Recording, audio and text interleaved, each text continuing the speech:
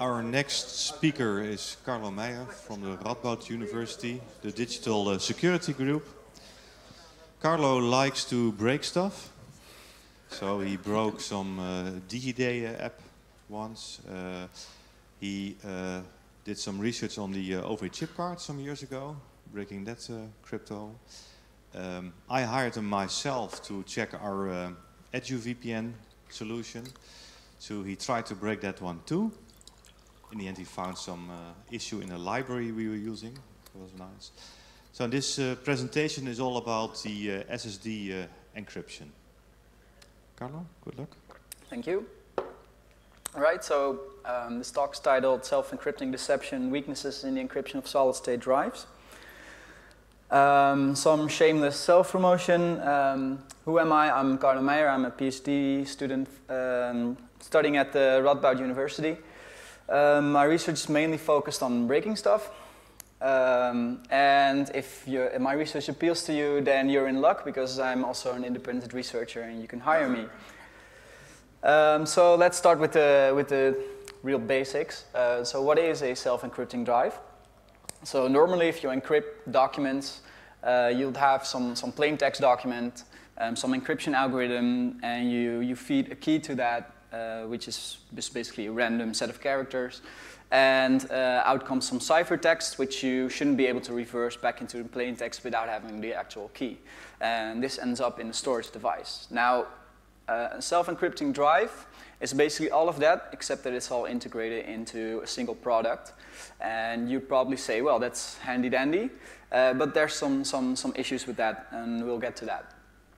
So um, down at, the, at its core, uh, you might think this is like it's hardware, so it's a, it's a sort of a Fort Knox, but uh, actually uh, down to its core, it's just software. It, it's just a microcontroller with some ARM core. Uh, you can look up these specs and uh, you'll see for yourself. Um, there's another example of this. Um, and these things typically even have uh, debug ports on them. So this is yeah, so, so, so this is one of the, of the examples that you could just hook up a debugger to. Um, there's another. Um, okay, so um, given these things are uh, pretty much like the implementation isn't uh, very, very documented whatsoever actually. Um, this hasn't been theoretically proven uh, so much. It's, it's more of uh, been democratically proven, like people started using them and sort of felt okay with it. So um, this is sort of the marketing fluff around it, like um, it's being presented, being posed as being um, vastly superior to, uh, to, to, software encryption. Um, so there's, there's studies released, um, I don't know who conducted those, but um, apparently there were um, hardware security. Hardware-based encryption is very secure, blah, blah, blah. Um, there's a list of uh, advantages that you get that you don't have with software encryption. Now, most of these aren't lies. It's, it's, I mean, but most of these don't apply to security. There's, there's this more, more of a, a management and usability uh, kind of advantages that you get with these, which is fair. Um, Oh yeah, and by the way, uh, if BitLocker, so if you're using Microsoft Windows and you're, you're turning on its, its internal BitLocker encryption feature, uh, it will query the drive like, hi, do you, by the way, support this standard of full disk encryption? And if you do, you do the, the heavy lifting and I'll just do nothing. Okay, so, um, so yeah, yeah, that, that actually changed uh, recently, yeah, because of, uh, of, of our research. So uh, what are the actual security guarantees? Like, like let's uh, dive, let's, let's throw away the, uh, set aside a bit of the marketing fluff around it. Let's see what the actual guarantees are. Uh, so for that, we'll just play uh, the attacker model game. So this is more of a theoretical approach. We'll dive into the practice later.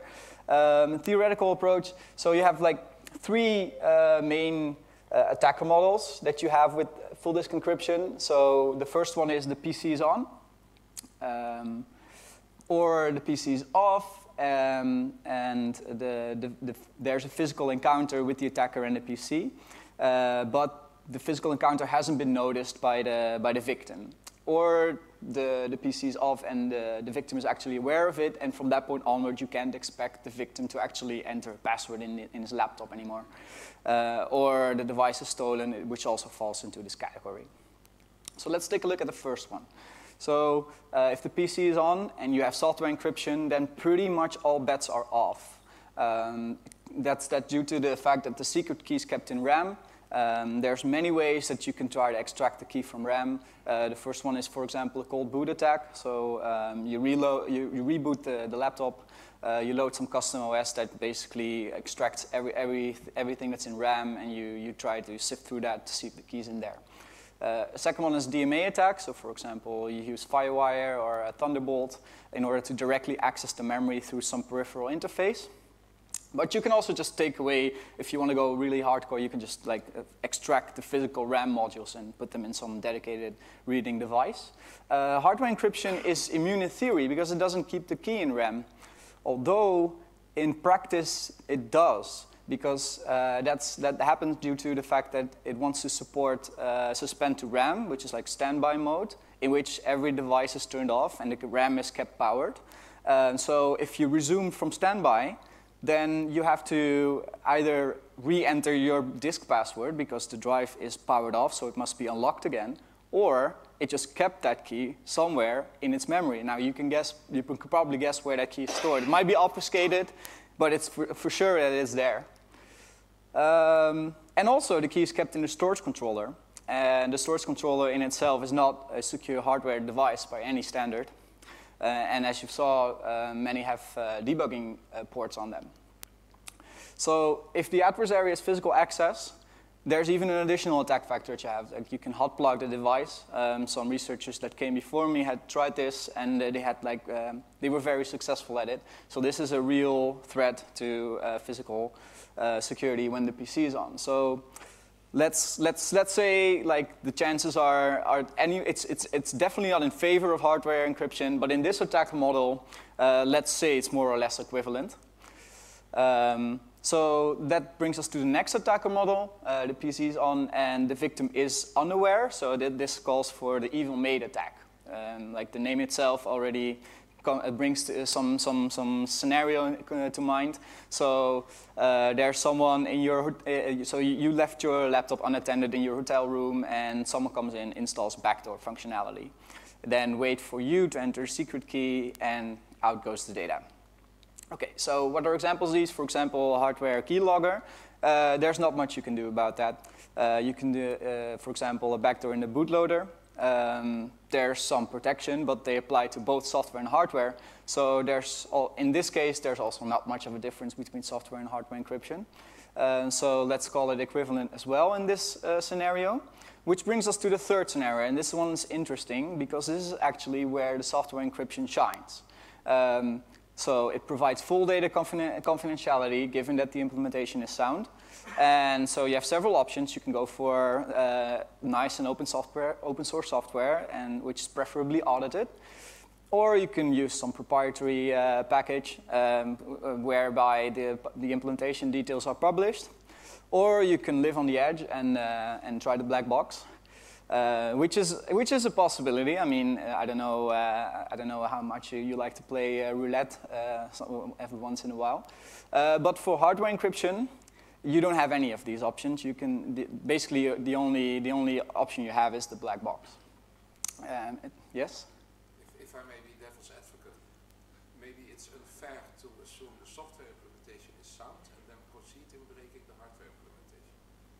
Uh, maybe it is, but like several people uh, came before me and they audited the software. For example, True, True, TrueCrypt is fully audited.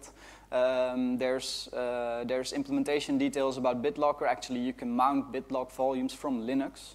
Um, so like if there's any serious stuff going on there, um, I'm, I'm, assuming, like I'm making assumptions here, but this has probably been, been done before. And probably nobody found anything serious there. I'm, I'm, saying probably because I haven't looked at it personally, but yeah. There was a reason that was audited, of course. Yes. Uh, yeah. So um, anyway, uh, hardware encryption is extremely hard to audit because all you have is like this binary firmware image, if you can get those. Um, and there's even additional um, pitfalls that only apply to hardware encryption and not to software. Um, but we'll get to that later. So uh, given this overview of attacker models, um, the takeaway message is the security guarantees are equivalent at best. Um, and as you'll see later, um, it's, it's, not it's not faring very well. So with that, I'll take you to, through some standards for hardware encryption. Uh, and so you had like this old and archaic ATA security feature set, which is basically uh, it, it, like your motherboard, the BIOS uses it. If you set a BIOS hard drive password, then it will use this standard.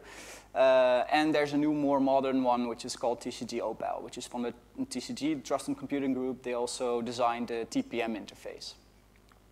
So now, suppose that you uh, want to implement hardware encryption yourself. So what you probably do is uh, you have this data structure and you store like two random salts and a hash. And so in comes a password from the host PC. You, you feed that through a keyed hash together with the first salt. You compare it, you compare the result to the hash value that you store. And if that matches, then you assume the password was correct. Then you reuse the same uh, user input as a password, and you put that through the same keyed hash function with a different salt, and that becomes your key. And now you have like a key that you can use for encryption. So far, this is pretty easy. Um, so let's let's take uh, take a look at how ATA would you, you, how you would probably implement APA, ATA. Uh, ATA is actually uh, it, it, it was uh, it originated before uh, self-encrypting drives were a thing. So uh, it came from the ATA standard. The ATA standard doesn't even mention encryption whatsoever. It's, it's actually been designed for access control, and uh, vendors basically retrofitted that into self-encrypting drives. So um, what it defines is two passwords, a user password and a master password. And both are actually user settable, not just the user one. Uh, but the initial master password is factory set. And there's this setting called master password capability, which is either high or max. And high means that both the user and the master password can actually unlock the drive. And the maximum, uh, max means you can only erase the drive if you have the master password. So already, just given the standard, uh, it basically means you always have to set this thing to max or change the master password, or otherwise you're screwed because then you have like a factory default password that can access your data. Uh, and in practice, uh, the latter, so setting the, the bit to max, is even uh, insufficient as well. So, um, so how would you implement this? Probably something like this. So you have like uh, you have two data structures similar to the one before. Um, you a key comes in, or I mean a password comes in. You put that, you feed that through a hash function together with the salt. Uh, you get a hash result. You compare it, and there's either there's a match or no match uh, given what, uh, what's stored. And then you do the same thing with the second salt. Uh, you decrypt that, you get like some intermediate key, and you need that in order to support um, two passwords resulting in the same disk encryption key. So there's another decryption step uh, involved here. So that's probably how, like, that's probably a straightforward uh, way to do it. Um, now comes TCG Opal. So this is the default, de facto default for hardware full disk encryption. So uh, BitLocker uses it and whatnot. So this thing defines, you can, you can actually define multiple partitions, which we refer to as locking ranges. Uh, you can define multiple passwords, which they, which they refer, refer to as credentials. And um, you're supposed to support, as a, as a drive vendor, that you can actually uh, unlock multiple ranges with a single credential. And also, a single credential, uh, a single range should be able to be unlocked by multiple credentials. This, so in database terms, this is many to many. So this, for, this is an example of a scenario that has to be supported if you want to be uh, TCG OPAL compliant, which is crazy. So, um, oh yeah, by the way, you also have to be able to uh, scramble a range, which, may, which, which basically means uh, re-randomize the key for an independent range without knowing all the passwords that unlock that range, that particular range. So uh, this is fully trusted by, by BitLocker. Now try to imagine that you had to implement this. I dare you, like, this is not trivial stuff. And so um, yeah, it shouldn't come as a surprise that, that mistakes are made when, when manufacturers try to implement this. Okay, so what are the actual pitfalls that we looked at? And this is basically the list that we came up with, like, okay, uh, let's try to implement this, and what's stuff that people will likely make mistakes in. So the first one, uh, it's pretty trivial. So there's a password coming from the host PC, and there's some key being used to encrypt all the data. So how are those two related? You don't know. Um, that's implementation specific. Uh, what's worse, that you don't even know whether they are related at all. And if they are not related, that means that like the disk encryption key doesn't depend on any secret whatsoever. All the data is already contained within the drive, so that means you can basically just unlock if you just if you know how to remove the password protection, uh, the password check. So second pitfall, suppose that you would naively implement the scheme, you have multiple ranges, um, and you use the same key to encrypt all the data. That means that if you, if you know the weakest password, you can, you can access everything. Um, so even for ranges that you don't have permission to, those are just if statements that you can just uh, throw away, if you can manipulate firmware, that is. Um, and uh, in the particular case of BitLocker, it leaves a single range always uh, unprotected. So that's where the partition table is. And so in that particular case, you can, the, the, like the disk encryption key is even recoverable without a key. It must be stored in plain text because if you're using the same key for the whole disk, then if you want to have a single uh, piece of, of, uh, of the disk accessible, then you need to store that key. So third, um, so bear with me. Suppose that you have a, a master and a user password. This is uh, ATA specific then you should set the master password capability bit to high, as you know, because otherwise you have a backdoor. Um, so ideally, you would throw away this material. So this, so this data structure gives you access to the disk encryption key if you know the master password. So if you, don't, if you want to disable the master password, you should throw away that data, because otherwise you can still uh, theoretically obtain the, the, the, the final key. So there's a problem here because the ATA standard allows you to reset it to high without, with the user password. So you don't know the master password. So how are you supposed to reconstruct that data if you don't know its password? So, I mean, there's ways around this, but um, I haven't seen this at all being implemented correctly anywhere. So in practice, this material is just being retained, and therefore, uh, if you just uh, if you just extract it, if you, if you, manage to find it, then you can just use the the, the, the factory default master password to unlock the drive. Uh, there's another uh, pitfall that's uh, that has to do with wear leveling. So um, this basically means uh, multiple writes can actually end up writing different sectors. So if you write twice to the same sector, it'll, it might end up uh, in uh, becoming writes to different physical sectors. Um, this has to do with uh, flash cells, they wear down over time, so that you want to spread that out as much as you can. So there's some algorithm and some mapping in between that does that for you. So what happens is, this is oversimplification, but suppose that you get the drive from the factory, there's, uh, then everything's encrypted by default, and the key is stored in plain text. So if you set a password, you basically take that key, you encrypt it with your password, and then you overwrite the old one. But what if that medium is wear level? Then the old variant, the plain text variant, would still be in there somewhere. And so if you manage to find that, then, uh, then basically you're golden. Okay, there's, there's other stuff going on that, that, uh, that's basically, uh, that happens everywhere.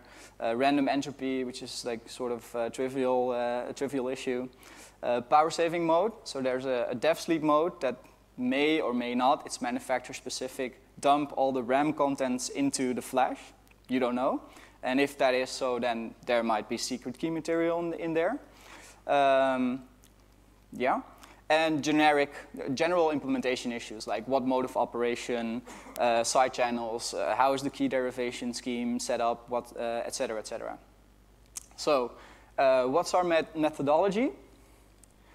So uh, yeah, it's, it, this is more an art than a science. It's uh, pretty ad hoc. So, um, but I'll try to, to, to, to give you some, some guidelines.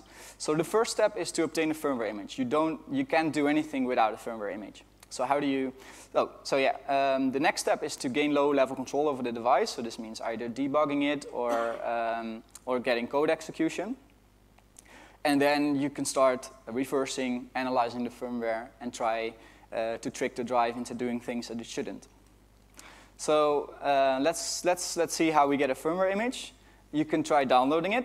Which seems easy, but uh, in practice it's, uh, it's harder than you might think uh, because there's usually obfuscation applied. You, you, you, typically you download some bootable ISO image and there's a firmware image in there, but it might be encrypted or whatsoever.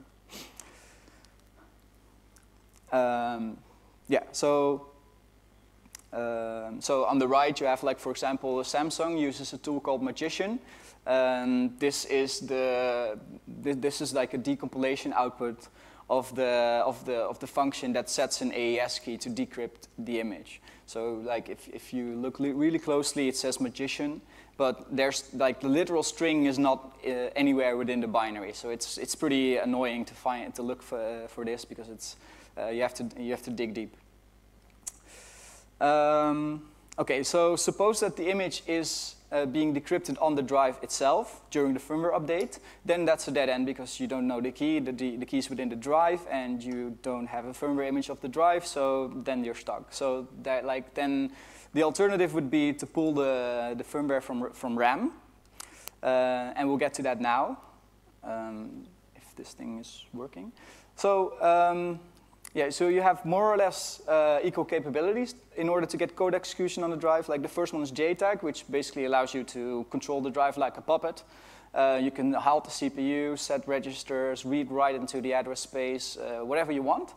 Um, some models have this in plain text, so there's a standardized ARM 14-pin layout that you can use. Like some disks just have that.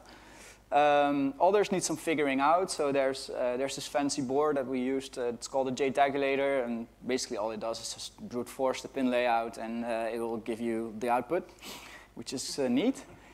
Um, there's uh, like the, the, the, alternative would be uh, you get pretty similar capabilities if you just have unsigned code execution. Now, it, like if you just send a firmware update, this thing will check signatures, obviously. Well, obviously, yeah, yeah apparently they do.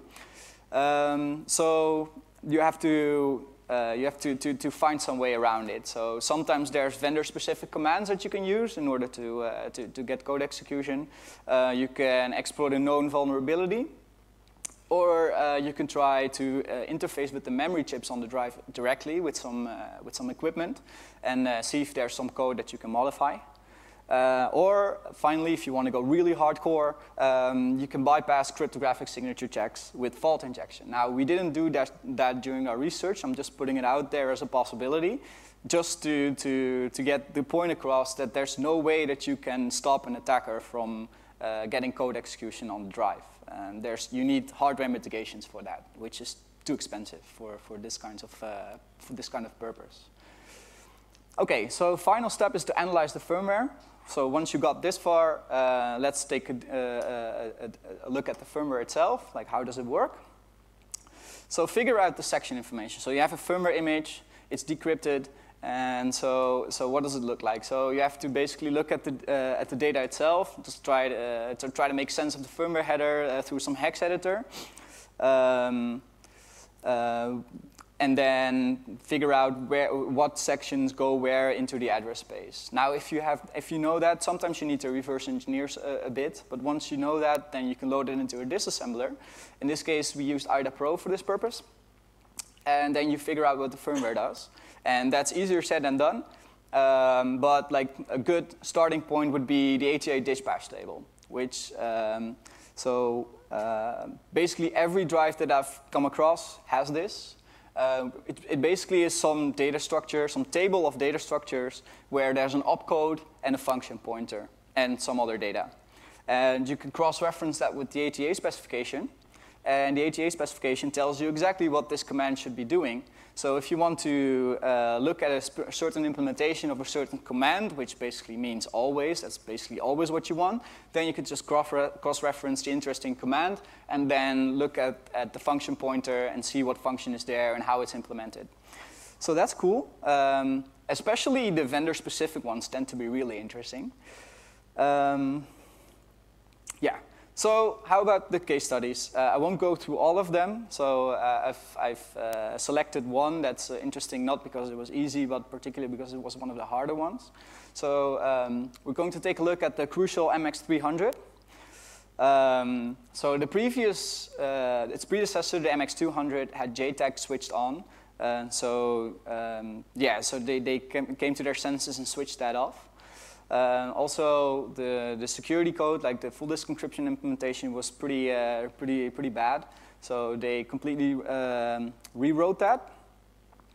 And there's still some vendor-specific commands in there. Uh, so the old one had like really fancy vendor-specific commands that allowed you to basically write into the uh, raw address space without any signatures whatsoever. So that was neat.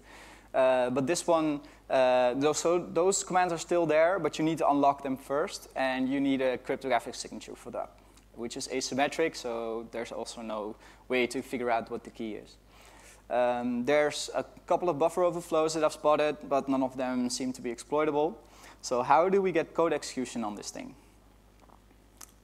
So for that, I've been looking at the boot process. So there's, uh, on the left, you see code in ROM, uh, which doesn't uh, directly load the firmware from Flash. There's a step in between. Uh, so there's a so, so on the right you have like the um, uh, oh, so sorry. Uh, you have so on the left you have the ROM code which loads the next stage from an SPI flash, and that code actually loads the actual firmware in RAM. Um, but the firmware in RAM is actually, uh, sorry, the, the, firmware on the flash chips are actually, uh, that's actually NAND flash. So there's like a BGA chip, which is extremely hard to, uh, to, to, take off and just read out physically. So how about we take a look at the SPI flash. So we're looking at this, this stage in between. And let's see if we can actually uh, interface with that SPI chip. It's there on the board and, and see if we can, uh, we, we can make sense of it and see what it does. So, um, so this is a picture of my Crucial MX300 with uh, some wires hooked up to this flash, to the SPI flash. Um, so what you would do first in order to, to get code execution on this thing is like you hook, up, hook it up with a physical reader. You make a backup of the chip, obviously. Uh, you craft some code uh, that, that uh, remove signature checks from the firmware. So remember that you're not actually modifying the firmware directly, you're modifying the loader that loads the firmware. But in between uh, loading the firmware and actually transferring control to it, you can, you can patch some things. And so yeah, so what you do is inject code that does that. And then you flash a modified stage two uh, to the, so you write to this SPI flash. And now uh, if everything was go uh, has gone well, then this drive should now accept arbitrary firmware images because you, check, you patched out the, the firmware signature checks. And then you take a firmware image uh, and you modify it as you please. So for example, you add some fancy capabilities like uh, read, write, and execute. And then you flash it as if you would normally send a firmware update to the drive. And it will accept it because the firmware, uh, the, the signature checks are gone. Okay, so with that, um, let's take a dive, let, us take a look at the key derivation scheme. So uh, actually, there is a relation between the password and the final key used for encrypting your data. So that's good. And, but as required by Opal, there is a thing uh, for multiple ranges. So you have uh, multiple ranges and multiple credentials. So on the left, there's a credential table. And so you take the credential that you, that you want and you decrypt that with the password that you supply. And basically that ends up with some key. And this key is the same, so it's called the RDS key. I don't know what it stands for, but I've, basically they refer to it as that in the firmware. And the RDS key basically uh, grants you access to everything. Um, so it allows you access to all the protected ranges, and every password will yield that same key. Okay, uh, that's already pretty weak, but still, um, let's let's assume that like there's a like things aren't very weird, and you only have a single range set up that you want to protect. Then it's fine in principle because uh, all the unprotected ranges. So remember the BitLocker scenario where the partition table had to be in clear text. Those don't need the uh, the RDS key. So basically, those keys are stored in plain text, and you don't need to decrypt them with the RDS key. So that's cool. Um, so yeah, so basically you're not supposed to access all the protected ranges, if, even if you know the RDS key, that's being, uh, you, the, the, firmware stops you from doing that, but there's nothing stopping you anymore from patching the firmware in order to bypass that. So um, everything is accessible with a single password, but in practice it's even worse. Um, so this is the, the function that, this is the decompiler output of the function that protects the password. So from the, from the, from the name of the function, you would probably guess, okay, this is just some sort of a hash function. But it does more than that. Um, what it actually does is if you set uh, a Boolean parameter, uh, which I named, uh, conveniently named uh, store RDS key, then it actually takes your password and then encrypts the RDS key using your password. Okay, so in principle, this isn't too worrisome, but you shouldn't really be throwing around uh, the output of, the, of this function.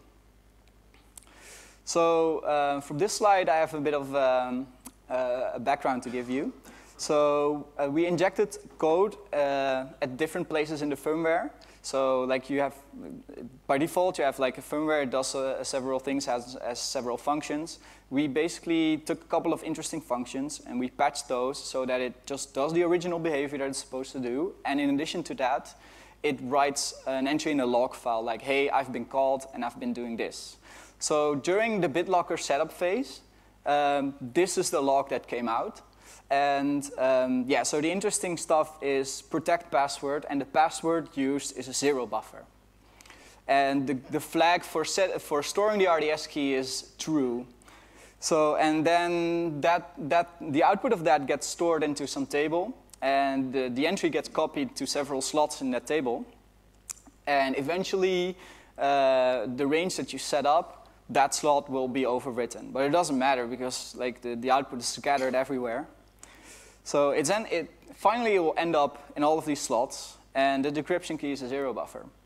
So all you have to do is then basically try to decrypt that, and then you have the, the, the magic key that unlocks everything.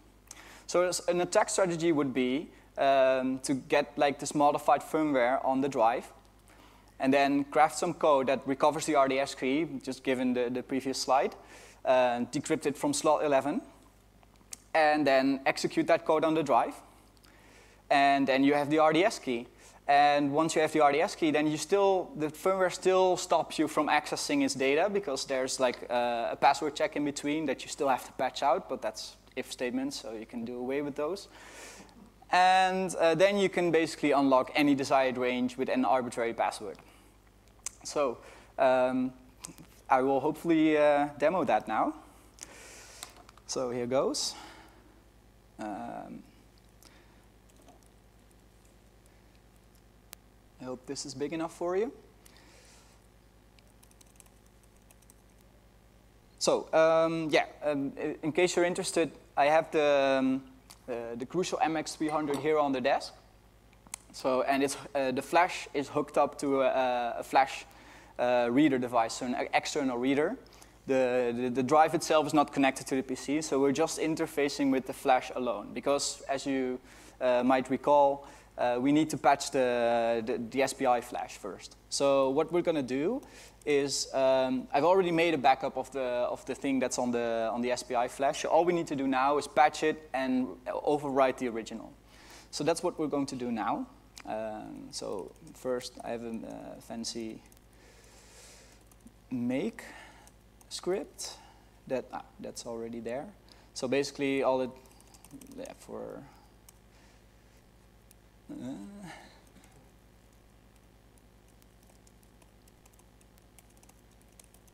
okay.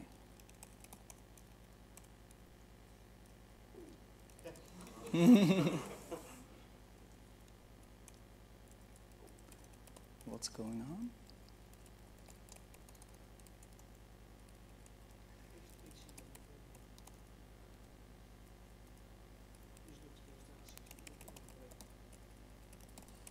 There we go. Okay. So um, basically what I'm doing here is uh, I'm compiling some code and then um, dumping that into a binary uh, file and then I'm patching that into the firmware and there's some CRC values that need to be updated so there's a script that does that. Uh, there's a magic value in the header that it detected and yeah so it basically it, it updates the the the, the, the, the um, checksums. Okay, now let's flash that onto the SPI flash.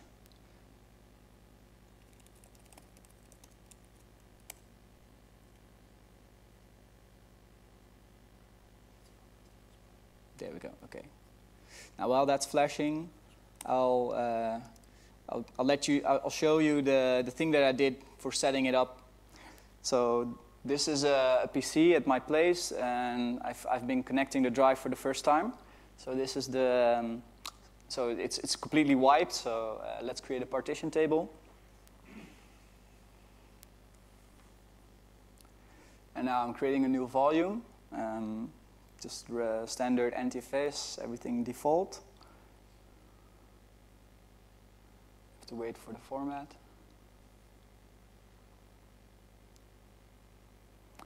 Okay.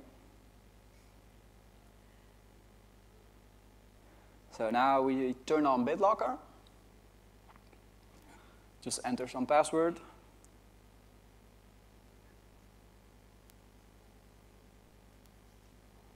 and then it wants you to store some uh, recovery key. So let's do that. And then you start encrypting, and that's it. So now the drive's encrypted. So um, you may uh, you, may wonder why there is no encryption process, or like why doesn't it take why why does it seem instant? That's because it's using hardware encryption. And so hardware encryption basically just takes the key that it used for encryption and encrypts it with your password, remember? So um, it also doesn't ask you, like, would you like hardware encryption perhaps? Maybe you don't trust this. Um, no, it just, it just delegates all the encryption to the drive. Okay. Okay, the flash is verified, so now um, I've uh, managed to, uh, to write to this, this chip. So now I'm going to unplug my, uh, my reader and hook up the drive to my laptop.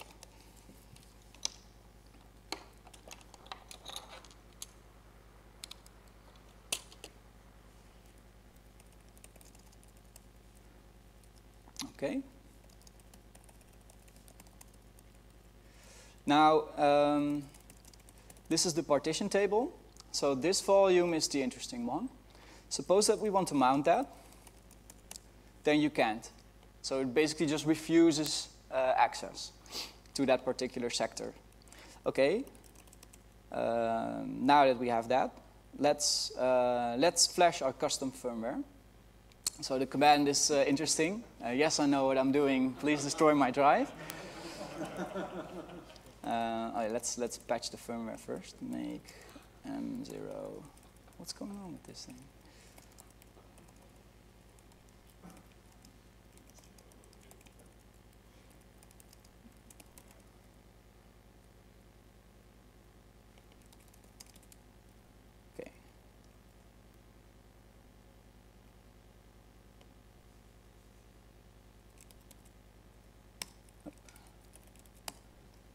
Okay? Fingers crossed. Nice. Okay. So the drive accepted the, the patched firmware. So now it's running that patched firmware. And so now we can do interesting things, like, for example, this tool called Tinker. And so Tinker basically, uh, so the argument is device, read, write, or execute, virtual address, and then an input or an output file. So what we're going to do now is read out the RDS key that it currently has in its RAM. So I, know, I, I happen to know the address for that. So um, as you can see, RDS, this thing is zero. So at this point, the drive is unaware of its RDS key. So uh, I have uh, some code that's called recover RDS key that basically decrypts it from this particular en table entry and we're going to run that on the drive. So first we have to write it into its address space. Okay, that went fine. And now we're going to run it. Okay, and now I'm going to uh, read out the same RDS key again. And there it is. Okay, cool. So now cryptographically we, uh, we won. So uh, now we still have to unlock the drive though. So if I, if I do this, if I try to um, just use this uh, SED tool, uh, SED util, which is open source, uh, which is an open source tool for managing TCG Opal drives. Uh, if I try to unlock it with any password, it will basically refuse if it does anything at all. Oh, wow, okay. Um, okay, wow, demo gods. Okay, let's go.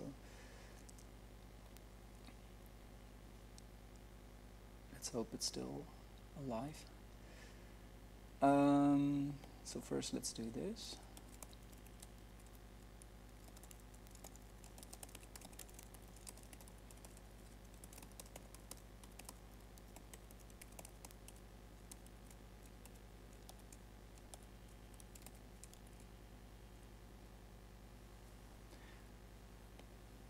Are you still with me? No. Okay. Let's unplug it.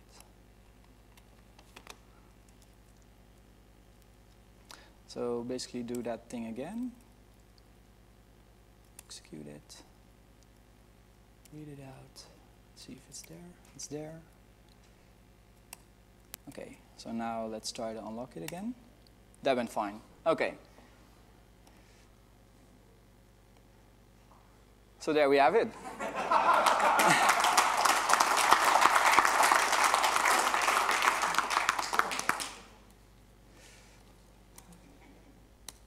Okay, cool.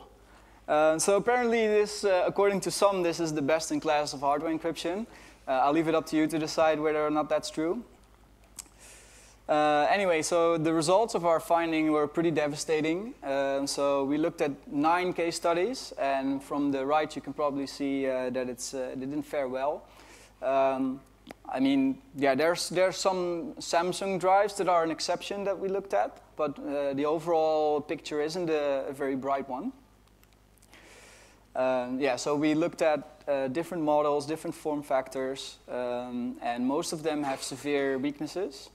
Uh, the best case scenario is, uh, as stated previously, the security guarantees are equivalent uh, to software in uh, full disk encryption.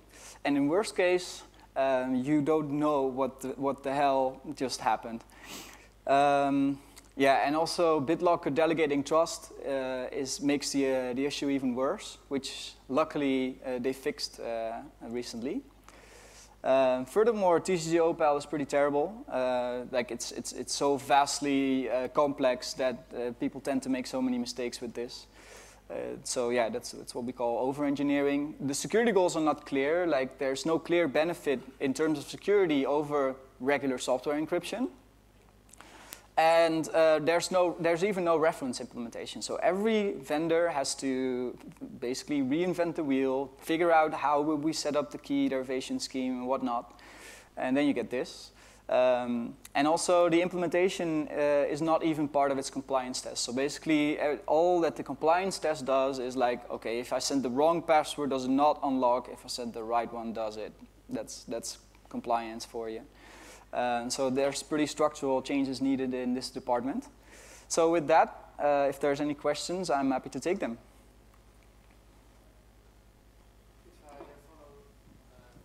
Doet?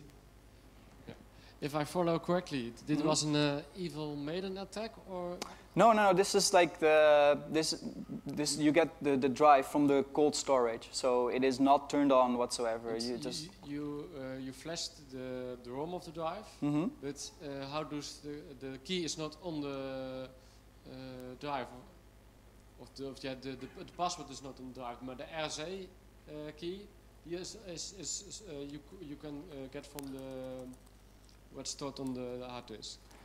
So um, this is the important uh, detail. So um, so what you get from this scheme is uh, the RDS key. That's basically the thing that you're going for. Yeah. So the RDS key is uh, basically this is the, the, the function that there you put you you feed a password to it, and then it encrypts the RDS key using that password. So this function is being called during the setup phase. So when you first set up the drive in order to use encryption. And so it uses a zero buffer as a password and it just stores it. So basically, if you manage to find the output of this function, which is just stored on the flash, you can just decrypt it using a zero buffer. Missed that step. Uh, Yeah, okay.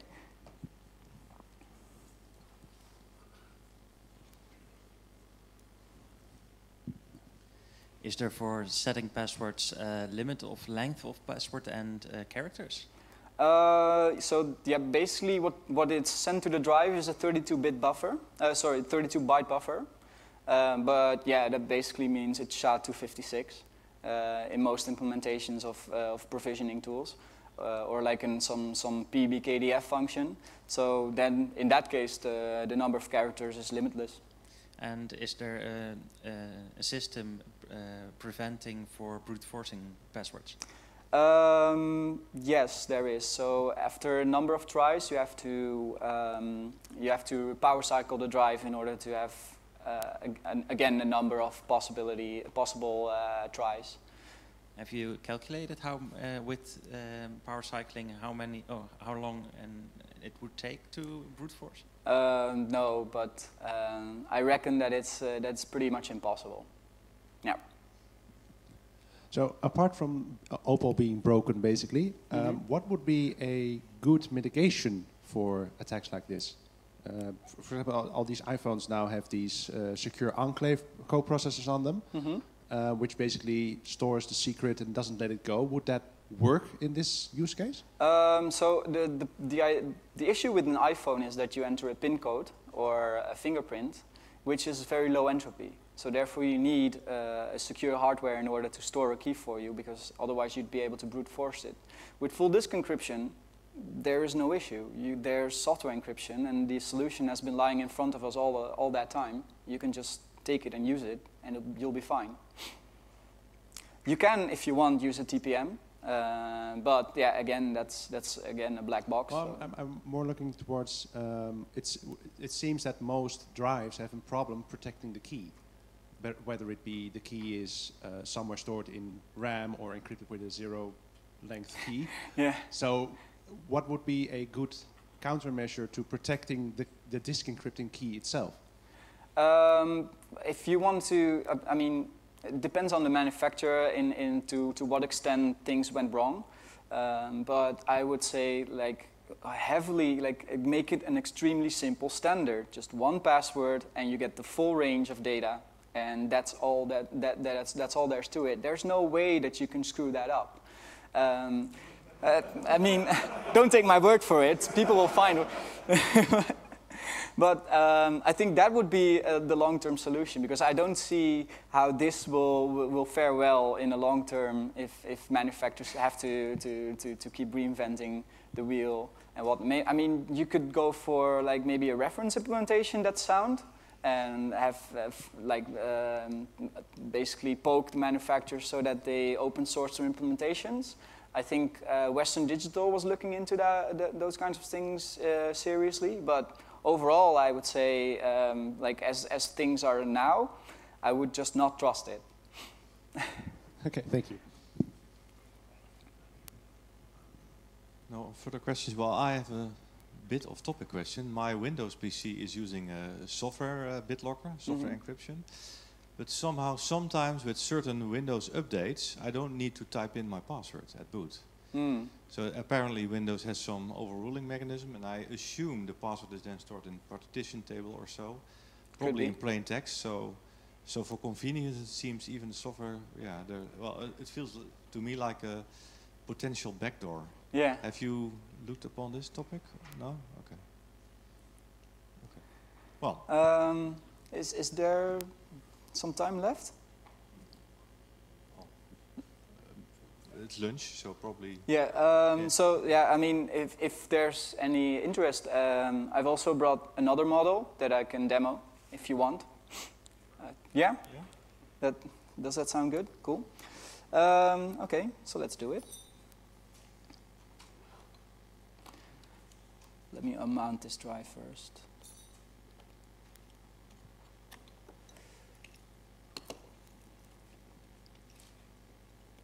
So this is the um, Samsung uh, T3 Portable. So I've taken it out of its enclosure and I've connected a JTAG debugger to it because this thing has JTAG.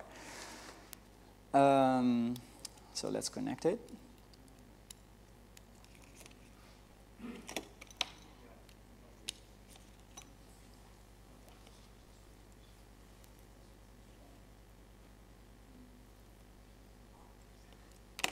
Oh, where is it? No.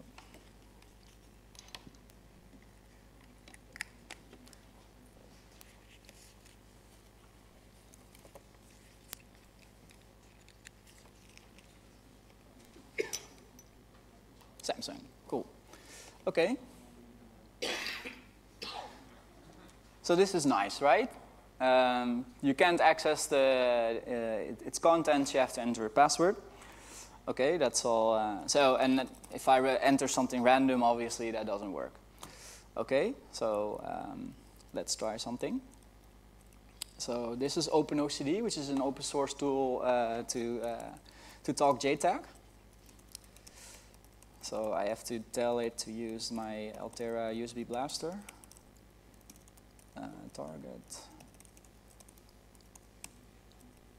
Device not found. What's going on? Oh, there it is.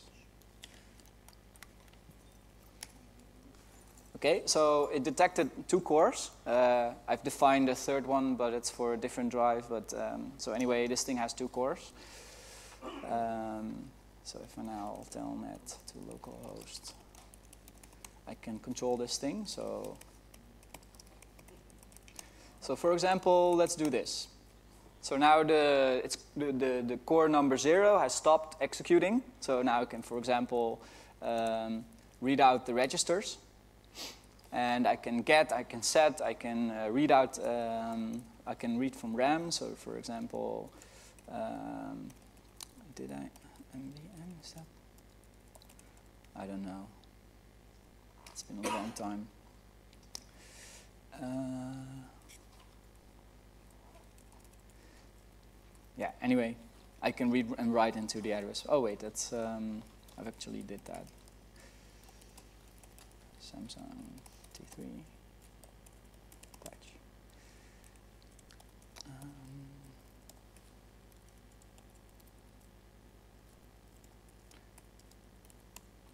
so for example, this is address zero and this is 32 bytes reading from address zero. So like eh, for the for the hardcore reverse engineers uh, uh, among us, this is uh, the interrupt vector table, and this is basically uh, a jump to some offset, and this is. Um,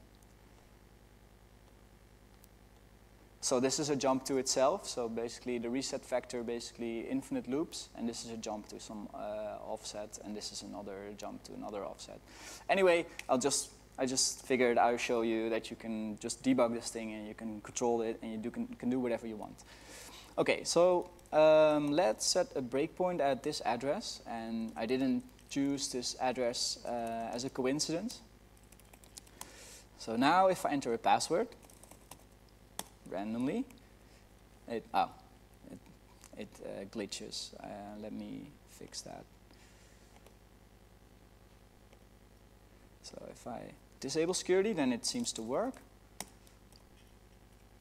Then it hit that breakpoint. Okay, so now I'll just remove the password check. and there we go, the security is disabled.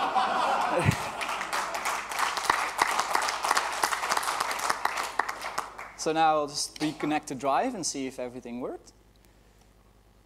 And there it goes.